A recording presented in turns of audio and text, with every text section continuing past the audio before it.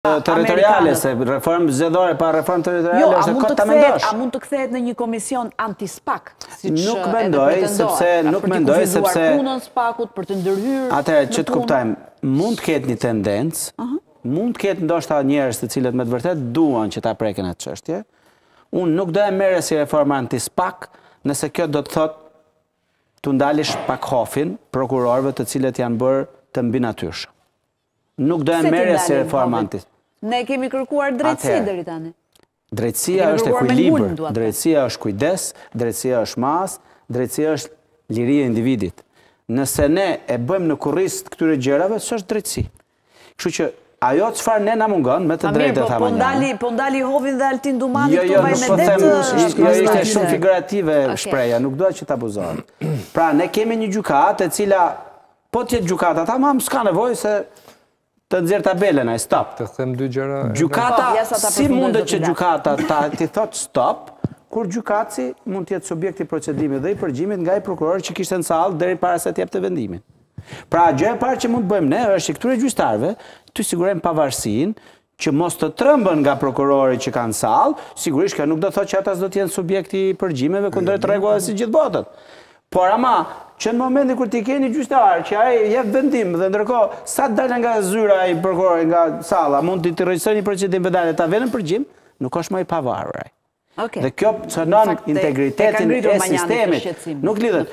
Po duhet ta ngrem disa herë që ta kuptojnë, se s'po e kuptojnë. Se është një shqetësim shumë i madh. Ne kemi kthyer drejtësinë penale në një makineri grirëse mishi të njerëzve, gjallë. Nuk është drejtësi penale kjo jona.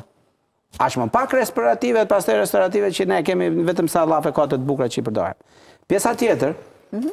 pa dyshim që s'është e plotë reforma, sepse nuk po merremi me mënyrën se si gjykata të bëhet më efikase, mënyrën se si drejtësia të kushtojë më pak.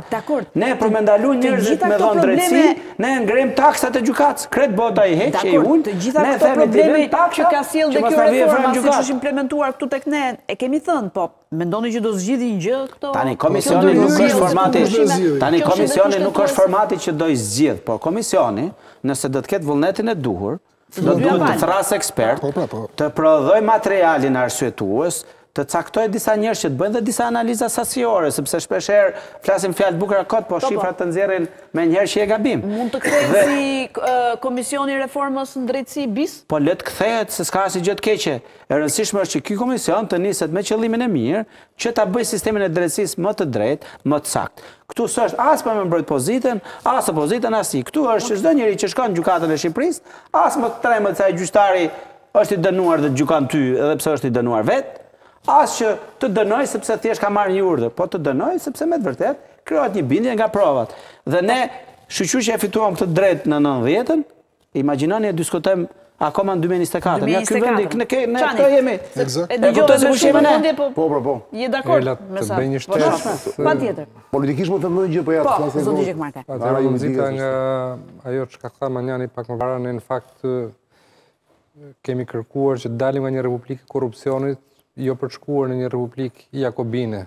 për të ndërtuar një leviatan të ri, në kuptimin e një përbindëshi që godet. Dhe kemi patur të drejtë të shpresojmë që reforma në drejtësi duhet të funksionojë dhe kemi votuar të gjithë me 124 vota e mbani mend.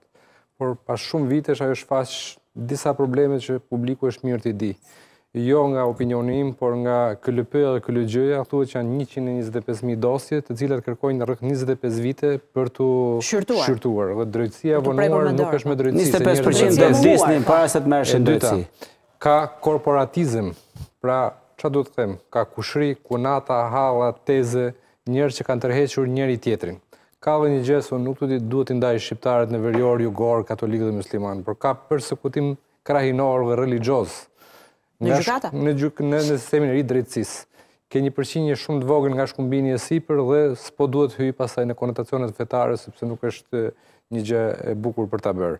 Dhe e treta, çka duhet të shqetësojë, mendoj unë këdo. Fakti që në vitin elektoral ka një tempizëm Për të goditur gjithë zinxhirin komandues të opozitës. Mund ta kritikosh, ose mund ta duash. Pse vetëm të opozitës? Po opozitën, mirë se opozita është, nuk është as... Mirë, kemi parë goditje dhe majtas, po s'e krahason Arben Ahmetajn me Sali Berishën? Kush krahasohet me Sali Berishën nga Erion Veliaj kush, cili krahasohet? Asnjë bashkë. Mirë, po drejtësia nuk është balancë jo, jo, jo, të kapim një të PS-së dhe një të PD-së. Jo, jo, dua të bëj një analizë të shkurtër. Në qoftë se do doje ta gjykoje Sali Berishën do ta kishe bërë kohë më përpara. Kjo reforma në drejtësi është votuar para disa vitesh.